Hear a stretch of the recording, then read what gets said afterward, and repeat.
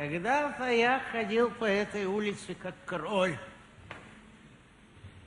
Сотни девушек вслед смотрели мне расширенными глазами. Теперь я стар, и мы уже давно спим раздельно. Я и моя железная челюсть.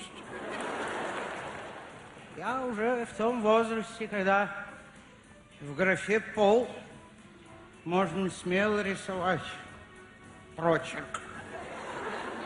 Но за мою левую руку крепко держится хлопчик с могучей соплей в носу и леденцом во рту. Вот это мой внук, с которым мы сейчас идем вместе в зоопарк, глянуть слоника, да, и жирафика, и мартышек. Петя, не трогай собачку, у нее блохи.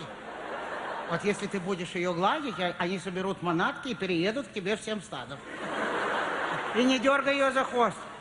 А- Она тебе откусит руку по локоть, и ты будешь потом как Венера Милоска. Венера Милоска это была одна очень старая и глупая тетя. А- Она всю жизнь совала руки куда не надо и дошла, наконец, до циркулярной пилы.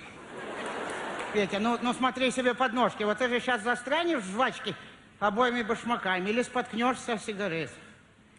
Вот только ты один из моих знакомых способен ходить, говорить и какать одновременно. Я в твои годы уже копал саперной лопаткой то огород, то канал. И за полбуханки работал в колхозе пугалом.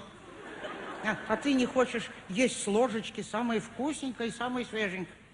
Да, а, а кто вчера, минуя желудок, бросил в горшок котлеты? Кто бросил в суп воздушные шарики? Папины. Весь запас.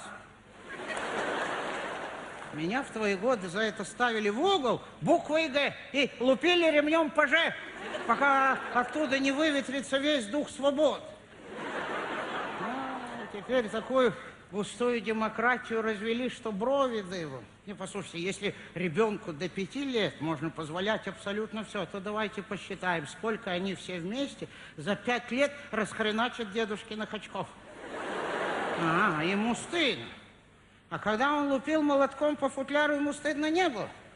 Ему было интересно, сможет ли дедушка без очков отличить бабушку от столба. Вот, он меня не слушает. Дедушка это для него не авторитет, а старый шепелявый радиола советской сборки. Петя, Петя, брось камень. Да не в дядю, ну, э, э, ради бога, извините. Послушайте, он меня что-то сегодня такой дискобол, то камень, то палку, то, то мимо, то прямо в лоб. Э, Извините, ради бога, пожалуйста, мы больше не будем. Петя, если, если ты сейчас не, не, не сунешь свои ручки в карманы, я забуду, куда мы с тобой идем. Ни, никакого зоопарка, никаких каруселей, никаких жирафов. Я вот куплю тебе на палочке мороженые рыбьи жиры и целый день буду водить по твоим губам. Петя, не садись на дорогу, мы уже почти пришли. Ну вот, видишь, с пятого этажа моргает, это жираф. Вот, это слон. Так, стоп. Выплюнь изо рта все, что у тебя там осталось, и чтобы мне больше никаких провокаций с верблюдом. Я опять не успею уклониться, а тебя опять смоет. И чтобы мне больше никаких походов через прутья к мартышкам. Они и так в неволе не размножаются. А после того, как ты пнул ихнего вожака, у них вообще э, остановится демография. Знаешь что, вот ты давай, и- иди ко мне на ручки, потому что ты за пять минут успеешь натворить столько, что меня потом посадят на 10 лет. Ну, через 10 лет это, это он уже пойдет в восьмой класс в обнимку со своей первой девушкой. Я хотел бы посмотреть на это. Я хотел бы дожить до того времени, когда сын моего сына будет называться мужчиной. Вот, дожил. Вот он уже не идет ко мне на ручке, он сам дал мне ручку, чтобы я оперся. Ну, пойдем, пойдем с тобой к фонтанчику, мы умоем тебе лицо, чтобы мартышки не думали, что одну из них я украл. И чтобы все люди видели, какой ты красивый. И что, несмотря на годы, мы с тобой все-таки Так, похоже.